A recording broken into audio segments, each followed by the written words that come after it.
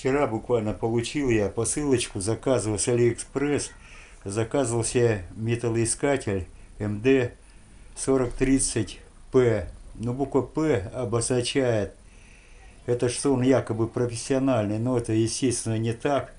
Он аналог почти металлоискателя 4030 МД но только вот я покажу вам, у него есть некоторые различия. Я ее вчера, эту посылочку получил, уже вскрывал, так как вот эта посылка, она шла мне, буквально она три месяца шла. Заказывал я еще в январе, пришла вот она вчера, 19 апреля, она только что мне пришла. Была вот упакована она в такой вот ящичек.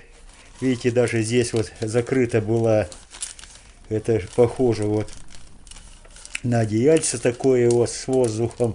Вот такая вот она посылочка мне пришла. Я, конечно, здесь уже немножко распаковал. Вот он, этот сам прибор. Выбрал себе с белым циферблатом, с таким вот, ну, поприятнее он смотрится. Вот так. От МД-40 она 30 отличается чем? Вот видите, какая форма. Там сплошная тарелка, здесь вот такая вот. Потому у меня у товарища есть это МД 40-30, у него сплошной. Но я вот выбрал себе такой, вот стоимость вот она была, МД 40-30 чисто, у его стоимость была, так, если на то время было 2400 рублей, вот это вот он мне стал 2672 рубля. Так что вот такая вот посылка пришла, вот здесь вот посылки, вот, вот видите, есть инструкция.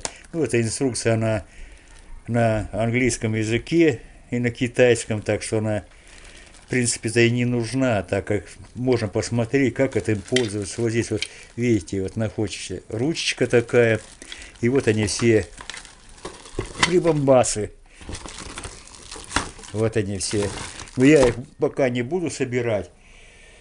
Вам это, собственно, и не надо. Он собирается, он это довольно просто. Это даже не надо смотреть никакую инструкцию, он как собираться там гаечки, болтики, все это на месте. Просто вот его работу его надо вот было проверить. То, что он работает, вот этот вот искатель, он работает на двух кронах. Вот я крону уже купил себе.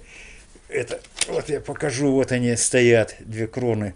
Эти вот кроны у меня по 50 рублей, это недорогие такие, потому что я просто посмотреть, как он работает, исправность его, случилось, он неисправный был бы, я его отослал. Вот такие вот две кроны здесь вот стоят. Это нет.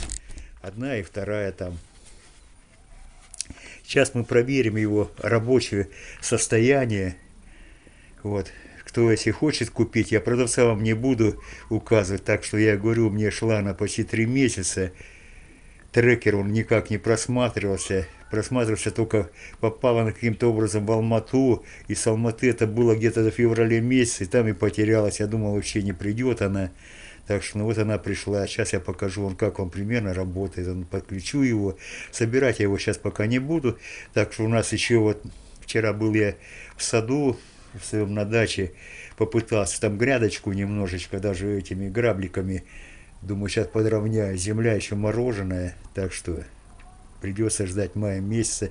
Но я в основном, я копаю, металлокопом занимаюсь, если я копаю монетки, черный металл я не ищу, так это ради это, души, ради интереса я его купил себе. Сейчас я покажу, как он работает.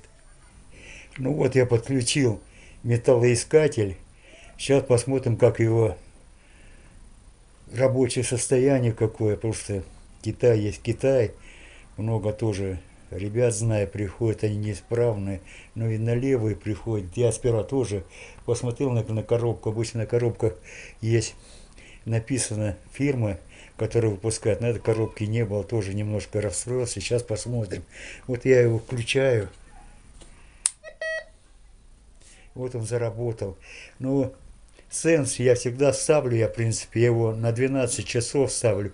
Так как дальше поставишь, это у нас минерализованная почва, бывает то, что вот щебень попадается металлизированный, начинает он немножко глючить, показывать всю ерунду копаешь, там ничего нет, потому что я на 12 часов всегда ставлю. Вот.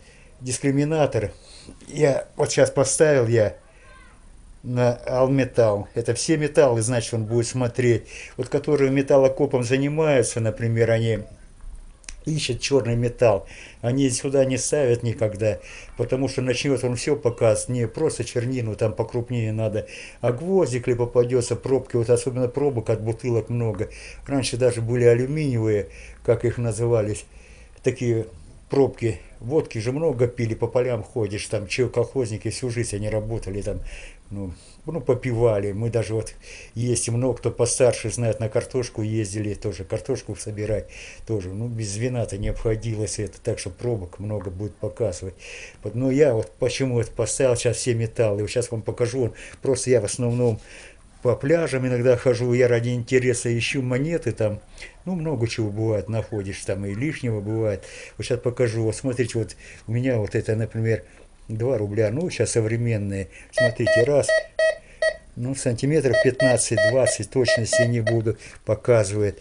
Вот это вот мне 10 рублей, 10 копеек на таком же расстоянии показывает. 5 копеек показывает. 5 рублей показывается, уже сантиметров 20 вот это вот. Вот у меня золотое кольцо. Вот это я нашел золотое кольцо, вот на таком расстоянии показывает. Ну, в общем, короче, все монеты он хорошо показывает.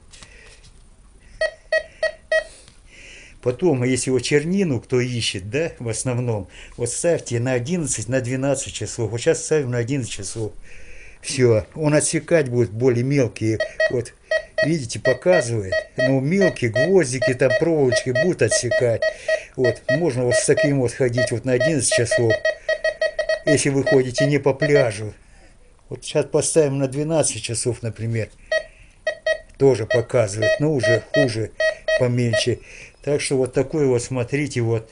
Я вам полностью не буду показывать. Это в процессе работы. Я как тоже, когда брал у друга что-нибудь копать, если заниматься. Ну так настроишь, так это по ходу по посмотришь, монеточку найдешь там, посмотришь, как она показывает. Ну я в основном показывал, какие приобретать вот это вот. Он чуть подороже, это 40-30, который, ну, обозначение на нем П стоит, это там, мол, обозначает, что он профессиональный, что катушка, конечно, она, ну, сантиметр на два мы уже проверяли, у ребят это были, она сантиметр на два, но вот эта катушка, она получше, она все-таки ищет монетки. Я в основном монетки ищу.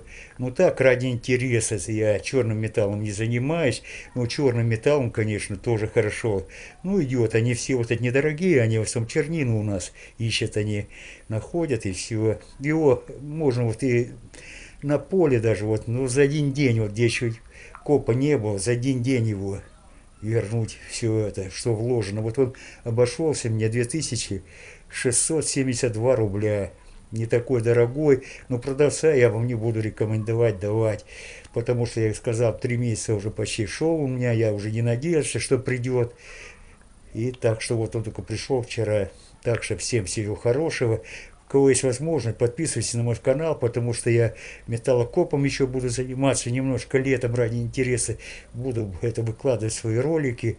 А вот такой вот у меня металлоискатель. Собирать я его сейчас полностью не буду, потому что у нас еще апрель месяц, у нас еще, как говорится, земля не оттаяла, я уже в предисловии говорил, что я вчера только на дачу поехал, хотел грабельками немножко почистить под цветы, но ничего не получается. Будем так, что май ждать, июнь, месяц там будут свободные дни и займемся поисками. Всего хорошего, до свидания, подписывайся, здесь возможность на мой канал.